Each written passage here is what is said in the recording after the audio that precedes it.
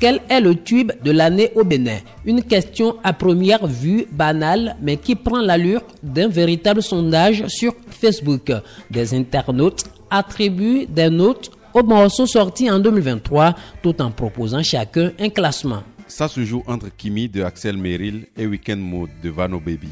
Aja Piano de Instime, c'est l'original. Mais je pense que le son Kimi, pour ses records, mérite bien la tête du top 3 devant GG Lapino. Ce classement reste discutable. On commenté d'autres qui dévoilent aussi leur liste de top 5 des meilleurs artistes béninois de l'année. Une proposition remise en cause. Le hit de cette année, c'est le son Kimi de Axel Merrill Sofono. Koi. Pour une fois, quittez les émotions et soyez dans la réalité. Ils savent bien que c'est le meilleur hit, mais font semblant de passer à côté de ça. Selon plusieurs commentaires, il y a eu en 2023 de nombreux artistes béninois dont les chansons ont emballé les mélomanes d'ici et d'ailleurs. Il est alors difficile de faire un classement, assure ces derniers.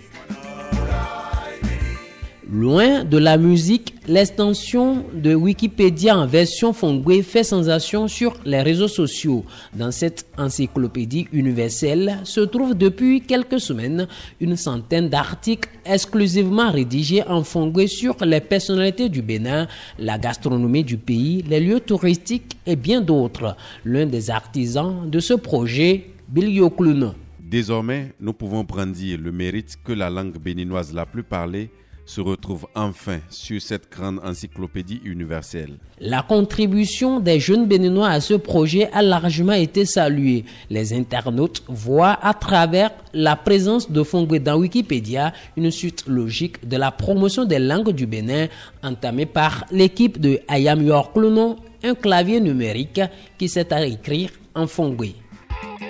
D'une nouvelle à une autre, L'allègement des conditions de commercialisation de soja fait réagir.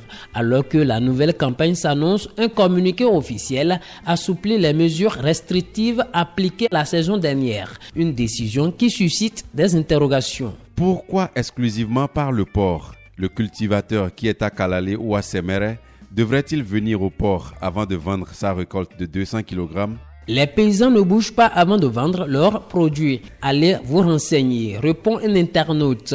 Un avis partagé. Merci au gouvernement car les producteurs s'interrogeaient sur le prix. Avec ces mesures, surtout la réduction de la taxe qui est descendue, le soja grain devrait bien s'acheter à l'avantage des paysans. Malgré tout, des sceptiques pensent que le problème est partiellement réglé. Leur souhait que l'État accompagne autrement les producteurs.